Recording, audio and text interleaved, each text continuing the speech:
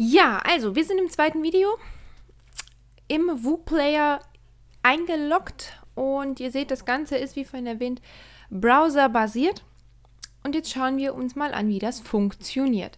Ich habe hier jetzt zum Testen einfach mal so eine YouTube-URL genommen.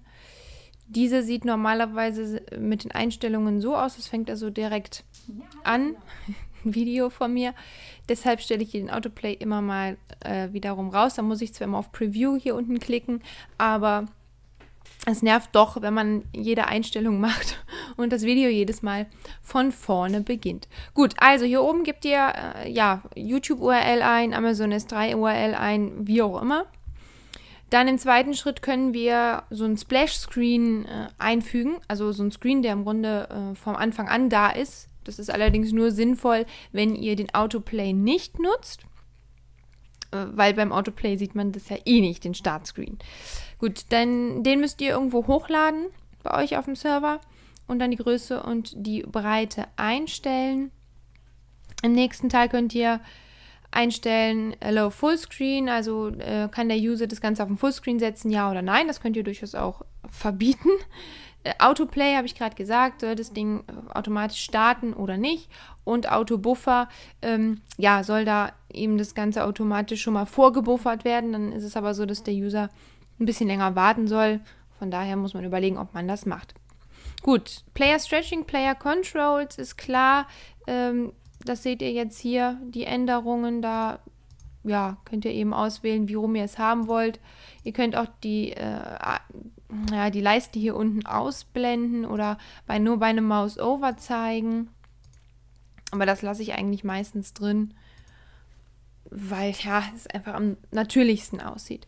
Hier können wir jetzt eben so einen Player auswählen. Ihr seht, wenn ich jetzt hier zum Beispiel den hier nehme, ist hier unten äh, diese Player-Bar etwas anders. Es sind sehr, sehr viele Player, die wir hier haben. Es kommen auch immer wieder neue dazu. Also sucht euch da irgendwas raus, was passt. Ja. Ich bleibe eigentlich meistens bei einem schlichten. Hier diesen, dieser schwarze gefällt mir ganz gut. Hier unten in ganz klein. Gut, weiter. Show Video Shadow Border. Ja, könnt ihr eben gucken, ob ihr einen Schatten haben wollt. Also drumherum seht ihr äh, ganz leicht grau. Remove Players Watermark äh, ist hier jetzt auf Yes. Wenn ich ähm, das Ding starte, ist es auf No und dann seht ihr hier unten den Woo Player. Wir möchten aber das Logo natürlich nicht da haben und können jetzt auch sagen, ich möchte mein eigenes Logo da einfügen. Dann kann ich wiederum eine URL hinzufügen. Hier steht auch, welche Größe das haben sollte. Also maximal ähm, 94 Pixel äh, mal 56 Pixel. Und das äh, Logo könnt ihr dann natürlich auch nochmal verlinken. Das heißt, wenn ich jetzt unser Wupper-Marketing-Logo dahin machen würde, ähm, kann ich da auch den Link nach wuppermarketing.de setzen und dann ist das Ganze auch noch klickbar und ich kann es halt im Video überall hinsetzen. Die Position kann ich hier eben einstellen. Ja, gut, dann lassen wir das jetzt erstmal so.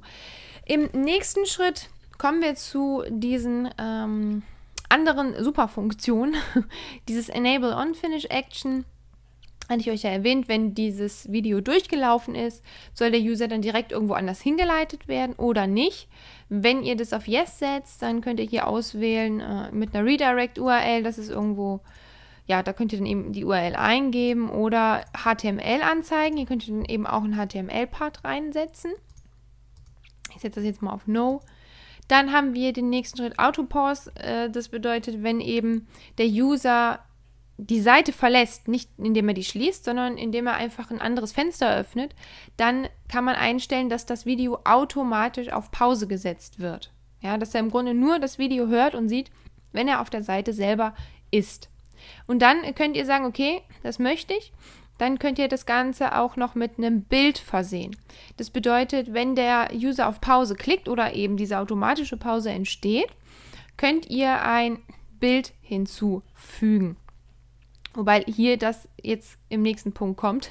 Hier rechts, das ist nochmal Disable Click to Pause, äh, bedeutet einfach, dass, dass es gar nicht möglich ist, auf Pause zu klicken. Im zweiten Schritt jetzt das, was ich gerade vorweggenommen habe. Ihr könnt eben so ein, so ein Bild hinzufügen. Ihr setzt einfach die URL rein und den Link, wenn der User eben das Ding auf Pause setzt, dass ihr im Grunde so, ein, so eine Art Werbebanner einblenden könnt. Ja. Okay, nächster Schritt, Enable Social Sharing ist äh, sicherlich immer sinnvoll. Da gebt ihr dann eure URL ein, hier mal als Beispiel. Dann setzen wir die noch rein. Und dann haben wir hier unten diese Buttons. Wenn ich jetzt hier auf uh, Want to Log Video Yes klicke, dann kann der User erst das Video gucken, wenn er das Ganze geshared hat, über die einen der drei Buttons oder ähm, nach einer bestimmten Zeit. Also wenn ich hier jetzt dann 10 Sekunden oder ja, 5 Sekunden eingebe, dann äh, kann der äh, User hinterher das Video, wenn ich es eingebunden habe, erst anschauen, wenn er eben das Ganze verbreitet hat oder eben nach einer bestimmten Zeit. Gut, weiter geht's mit dem Opt-in der macht sehr viel Sinn. Also das ist ja wirklich cool, wenn ihr so ein, so ein Opt-in mitten matschig in euer Video setzen könnt. Ihr habt hier die Möglichkeit, mit Aweber oder GetResponse zu arbeiten. Aber ihr könnt auch, wenn ihr zum Beispiel bei Clicktip seid oder so, äh, Custom HTML setzen, dann holt ihr euch einfach den HTML-Code von eurem ähm, Opt-in-Formular und packt den hier rein. Wir sitzen, nutzen zum Beispiel GetResponse und dann äh, bräuchte ich nur die Webform-ID von meinem Formular eingeben und äh, ja, dann eben noch die einzelnen Dinge hier ausfüllen, Header Tags, Description, also sagen hier, äh, für dich jetzt gratis, äh, trag dich jetzt ein und wir schicken dir das E-Book gratis. Ja? Wenn ihr in eurem Formular nur die E-Mail-Adresse gesetzt habt, dann müsst ihr natürlich hier einen Haken machen, disable the name field, weil das ja dann nicht gebraucht wird. Und dann könnt ihr hier noch ein entsprechendes Layout auswählen. Jetzt könnt ihr noch einstellen, wann dieser Opt-in gezeigt werden soll. Und zwar entweder am Start vom Video, am Ende des Videos oder eben an einem bestimmten Zeitpunkt. Ja? Also wenn mein Video jetzt 10 Minuten geht und ich nach drei Minuten möchte, dass die Leute sich eintragen können, dann kann ich sagen, okay, drei Minuten startet das und Ende ist dann in sechs Minuten. Ja? Dann fährt es so mit da rein und fährt dann halt auch wieder raus. Ja, und hier haben wir jetzt noch die Möglichkeit, äh, mehrere Funktionen bzw. Äh, mehreren Content hinzuzufügen. Das heißt, hier habt ihr diesen ganz normalen äh, Texteditor, wo ihr auch Bilder und äh, Videos und Verlinkungen einfügen könnt. Video im Video ist natürlich jetzt ziemlich unsinnig, aber möglich ist es.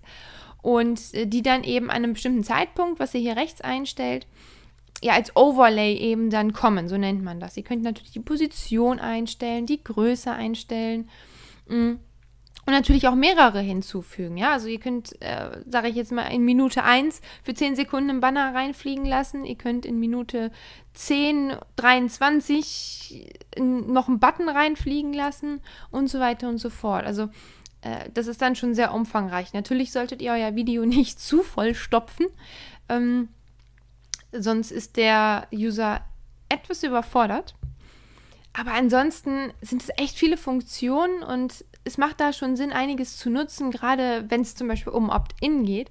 Und ich weiß nicht, ob man damit sogar eventuell Google AdWords ein bisschen ausspielen könnte. Ja, das bedeutet, wenn ihr jetzt so ein eine Website macht und äh, diese normalen Squeeze-Pages noch dazu setzt, dann findet Google AdWords das natürlich nicht toll. Wir, wir kennen all das Problem, dass wenn ihr Pay-Traffic auf eine Squeeze-Page lenkt, dass das meistens in die Hose geht.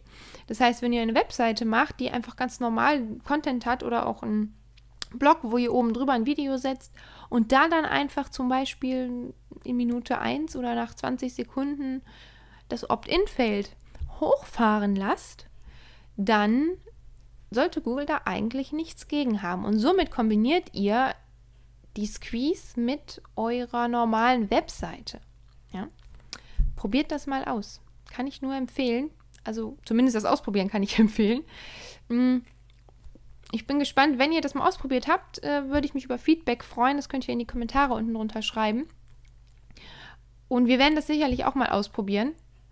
Damit könnte man, glaube ich, ganz gut da so ein paar Spielregeln umgehen. Das soll natürlich jetzt keine Anstiftung zur Regelbrechung sein, aber man kann es ja mal probieren. Okay, das ist jetzt mal so der, die Übersicht von der Software selbst. Ja, wenn ich damit fertig bin, klicke ich natürlich hier auf Save Changes. Und jetzt habe ich vergessen, dem Ganzen einen Namen zu geben. Das machen wir natürlich jetzt nochmal. Machen wir mal hier eine Demo und Ja, schreiben um die Uhrzeit ist auch immer so eine Sache.